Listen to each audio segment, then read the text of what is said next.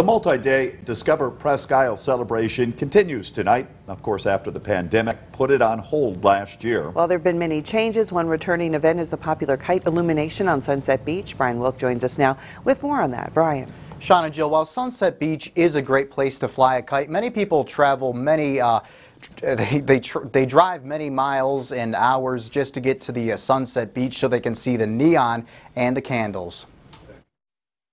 After the sun went down, Sunset Beach was full of kites illuminated in the sky, a scene some people travel hours to see. Even people in Erie don't realize what is out here and how much enjoyment can be had. Lee Sedgwick has been flying kites for decades and says Sunset Beach on Presque Isle is the best place to fly a kite in the whole state.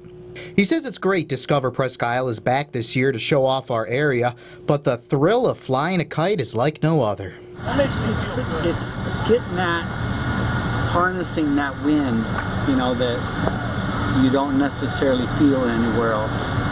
So when you feel it tugging on the line, it's, it's special it's really a thrill, right? It doesn't cost us any money. It's not like the wind is the wind is free, right?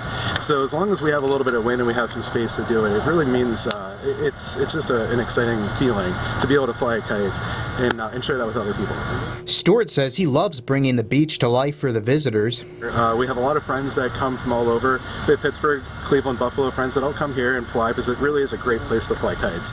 Every year, Brenda Orton drives nearly two hours just to see the kites on Sunset Beach. We just love it because of the kites and everything and the, the people and um, you just meet so many nice people too. You really, really do. It is just great. And Discover Presque Isle continues over the weekend. Uh, one of tomorrow's big events is the Beach 6 Volleyball Challenge. Jill? It looked really cool out there. Nice to see uh, two people out and enjoying and supporting Presque Isle.